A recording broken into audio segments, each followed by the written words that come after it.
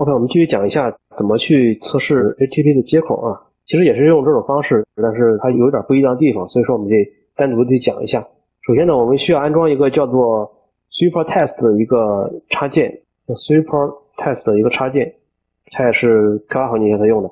同理，我们还是把这个给装上啊，你不装也可以啊。然后等一会儿吧，等一会儿吧啊。OK，按完之后我们看一下，这里面确实安上了。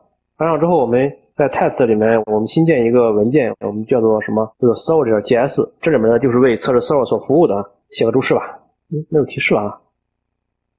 啊，没有提示，我们就自己手写吧。description 呢，我们就写成一个 just server。然后 author 呢，就是双叶老师。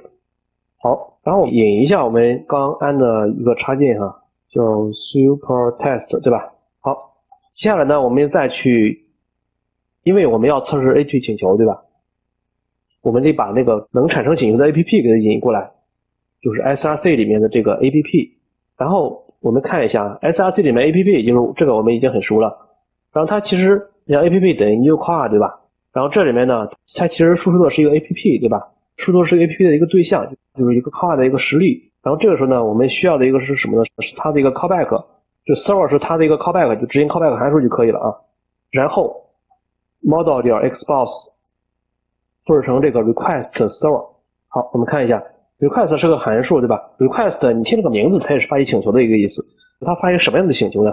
就发起一个我们 src app 点 js 那个请求，但是要通过 callback 的形式返回出来。所以说这个东西就是叫这个 just server。我们要用它来模拟一个真正的 server，然后我们去请求它，并且返回 API 获取一个数据。那接下来我们就再再建一个吧，就叫 JSON 吧。JSON 点 test 点 js 吧啊，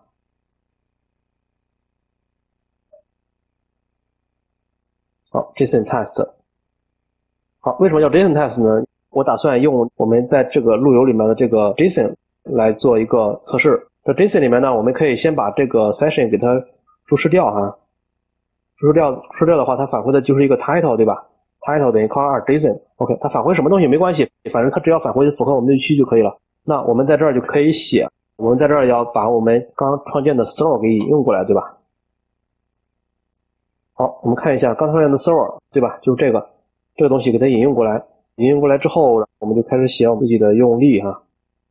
这儿它有个，因为它没有定义嘛，所以说这个 w e b code 老是给我一个错误的函数提示，比如说 JSON 接口返回格式返回数据格式正确。好，那接下来有个函数。这个函数很重要，就是我们要做那个网络请求的测试，那肯定是一个异步的，对吧？请求都是异步的嘛，啊，异步的，然后我们就需要一个把 thank 函数包裹起来，然后里面呢，我们还要实现一个 await 的逻辑。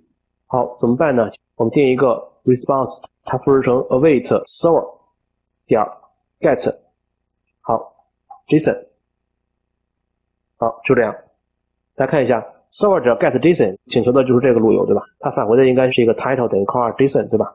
所以说这个时候呢，它返回的结果呢就在这个 response 点 body 里面。所以说我们这个时候就可以写我们的 expect expect response 点 body 点。我再介绍一个新的断言叫 equal，就是我们如果是判断那个值类型的话，我们用 to be，对吧？就是这里面用 to be。然后如果我们判断一个对象是不是相等的话，我们用 equal。依靠里面我们可以直接写我们期望的一个结果，就是把这个东西和这个东西进行一个对比，看它是不是一样，用点 to 依靠，好，保存一下，我们直接运行就好了哈。接下来我们可以看一下，OK，npm run test，OK，都已经通过了，然后刚才学了一个 to 依靠的一个。专业工具对吧？我们还可以再去啊，expect response 点 body 点 title 点 to be 括二 JSON 对吧？就我们比较常用的一些断言工具啊。好，再跑一遍。OK，没有问题对吧？好，这就是我们要测试的这个 server 的请求。啊，这个是个 get 的请求啊。如果是 post 的请求呢，其实也一样。post 的请求一般就是这么写啊。我们这儿把代码写一下，到时候在后面做那个实战的时候，我们会经常写啊。点 post 什么什么请求啊，比如说这是一个 login 的请求，然后再点 send 啊，send 一个数据，比如说 user name 等于张三，然后 password 等于一二三。就如果是个 post 请求的话，我们需要把 post 接口弄出来，然后 send 把这个数据给它发出来，这就是个 post 的请求啊。当然我们现在这个只是是个 get 的请求，所以说我们就先不管了啊，就先保留这个 get 的请求。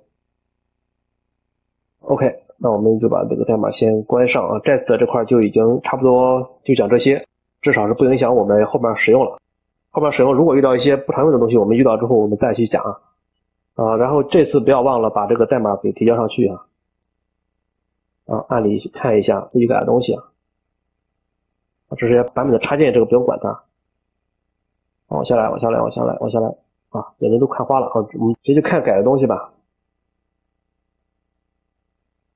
好，这个地方我们是删掉了一些 session 的东西啊，删掉就删掉吧，没关系。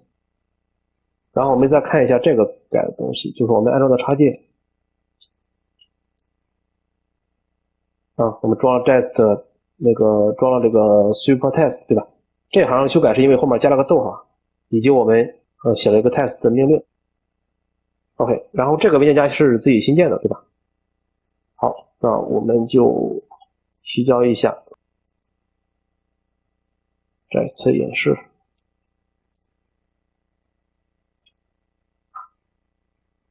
OK，那到现在为止呢，那个单元测试的这一部分就已经算是讲完了啊。我觉得最主要的还是，首先你要了解单元测试它存在的意义是什么，就这块你要清楚的知道，要不然的话你没有动力也没有信心去学这些比较枯燥的事情啊。这个相对来说是比较枯燥的，对吧？特别是大家做项目排期的时候。你可能会想到你开发的时候需要用多长时间，但是你想不到，你也不会去想自己开发完之后，比如说我花两个小时的时间做一些单元测试，呃，写个测试用例跑一下。所以这个我觉得学完这门课之后，不说你立马用起来，但是你至少你的思想上应该要去转变一下，说那个我接下来要尝试去把这个 test 用到我的工作中啊，然后怎么去用，以及结合你自己的实际情况，然后要全面的用在工作中，不光是自己去写。也要督促部门其他的人来写，然后统一形成这个部门的规范，以及在估算开发工期的时候，要把它放在项目中的一部分，对吧？啊，OK，那就到这儿吧。那我们这小节 Jest 讲完了。